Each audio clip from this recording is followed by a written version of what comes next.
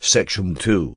Eurocommunism, an ideology of submission to the bourgeoisie and imperialism as we mentioned above. Modern revisionism emerged in the period of the sharpening of the general crisis of capitalism.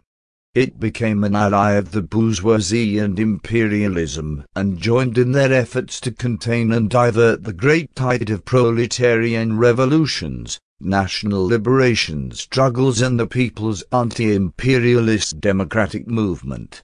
As such, the new revisionism could not fail to assume different forms and appearances, to use methods and tactics adapted to the needs of capital in each country.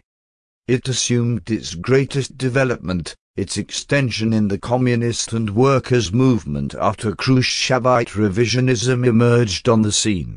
The betrayal which took place in the Soviet Union was of incalculable assistance to the bourgeoisie and imperialism at the moments most difficult for them.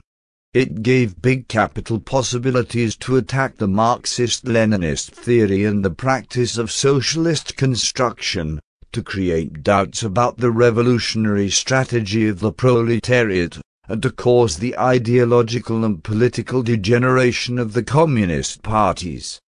Above all, the communist and workers' parties of Western Europe, which followed the treacherous line of Tito and Khrushchev, were severely shaken ideologically.